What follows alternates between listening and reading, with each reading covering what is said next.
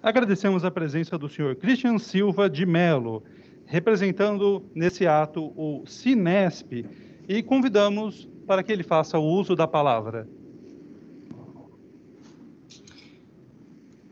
Bom dia a todas e todas, presidente da, da sessão, vereador Eliseu Gabriel, e aí também a quem eu estendo com os cumprimentos aos demais vereadores, demais representantes das secretarias municipais de educação e outras secretarias aqui presentes, aos colegas dos sindicatos e outros profissionais de educação e da, do meio cultural.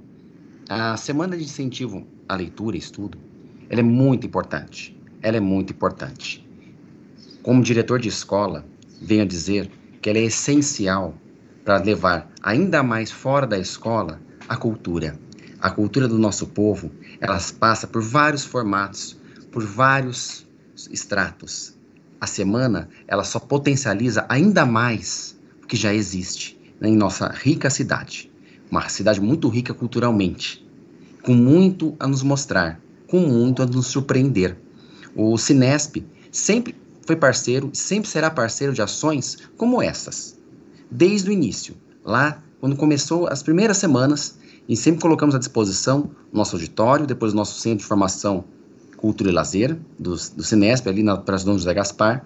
Nesse momento de pandemia, nós sabemos que, infelizmente, o contato pessoal, o contato presencial não é possível, mas estando aqui e já sentindo essa cultura toda aqui, emanada desde a apresentação da Ana Mara, desde todos aqui envolvidos, a programação que já iniciou alguns dias atrás, que está no site belíssima e riquíssima.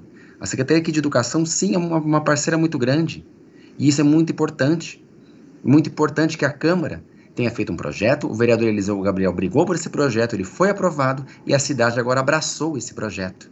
E ele existe. E ele vai continuar existindo enquanto todos nós aqui incentivarmos ações como essas. Uma cerimônia como essa de lançamento da semana só coroa algo maior, a cultura de nossa cidade. Parabéns, vereador Eliseu Gabriel, e parabéns a todos os apoiadores. Essa é a mensagem aqui do Cinesp de nosso presidente Luiz Carlos Guilardi.